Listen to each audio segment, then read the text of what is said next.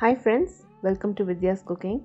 In today's video recipe, I'm going to show you how I prepared this Bulgar wheat upma or uh, we call it as broken wheat upma.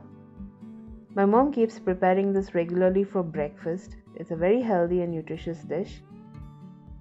I'm going to show you from the beginning how I prepare it. We get this huge bag of uh, Bulgar wheat which will last us for at least uh, 3 or 4 servings we normally measure this bulgur wheat using our coffee tumbler.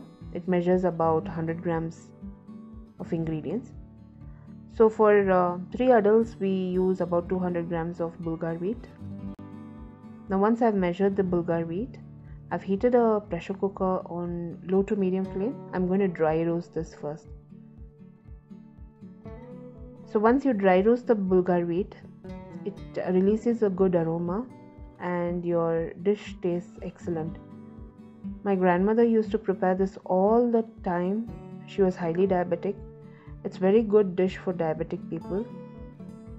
So and even for people who want to diet, they can prepare such dishes. Once the wheat has uh, roasted, you have to constantly keep stirring it. It'll turn uh, light white in color and it will release a good aroma. That's when you have to remove from the flame and we need to wash it twice.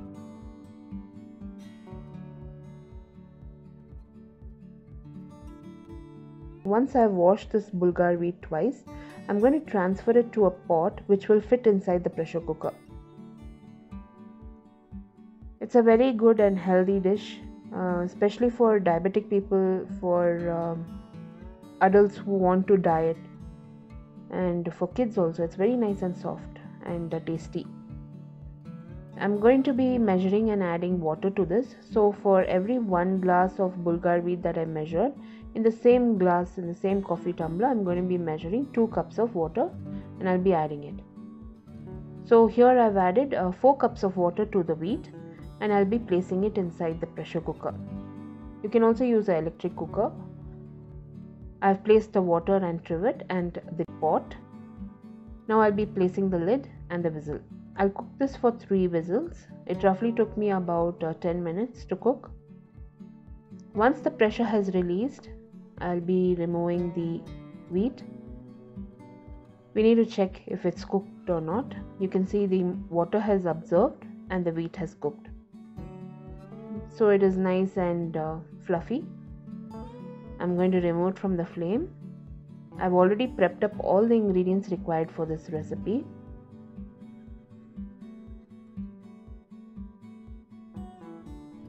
So let's look into all the ingredients. The wheat is already pre-cooked and reserved. We'll be using freshly grated coconut for this recipe. The coconut is a very good addition in this recipe. I've uh, washed, peeled and finely chopped one large onion and reserved. We need curry leaves, dried red chilies which is broken in half, slit green chilies, we also require split black gram dal, mustard seeds, asafoetida and pepper powder. All the ingredients used in this recipe will be listed in the description box below this video or you can click the icon above this video which will direct you to my blog. In the blog I've got a detailed recipe posted.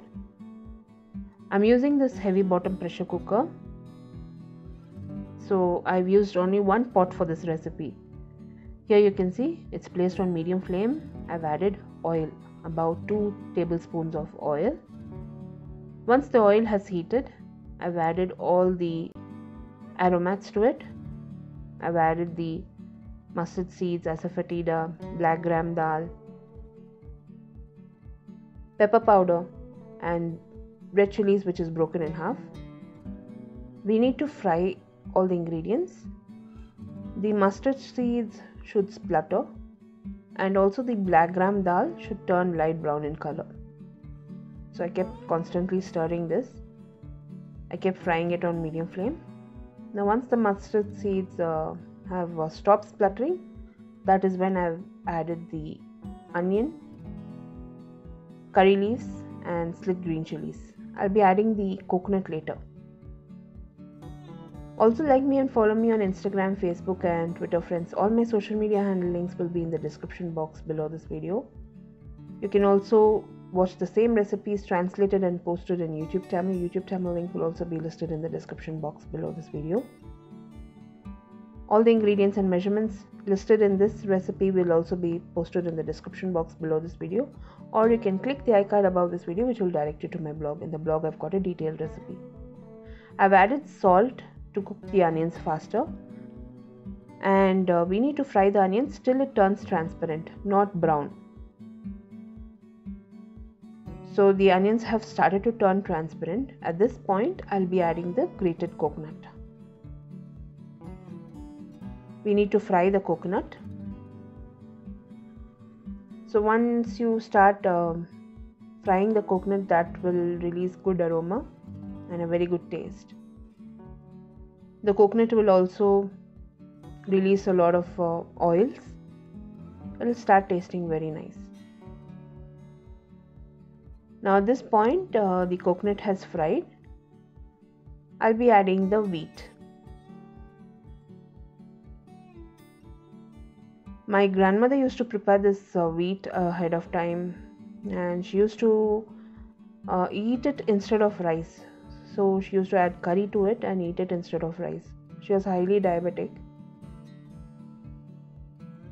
so people who want to avoid rice can use bulgur wheat. Now I've added the bulgur wheat and I'm just going to mix all the ingredients. You don't really have to cook this.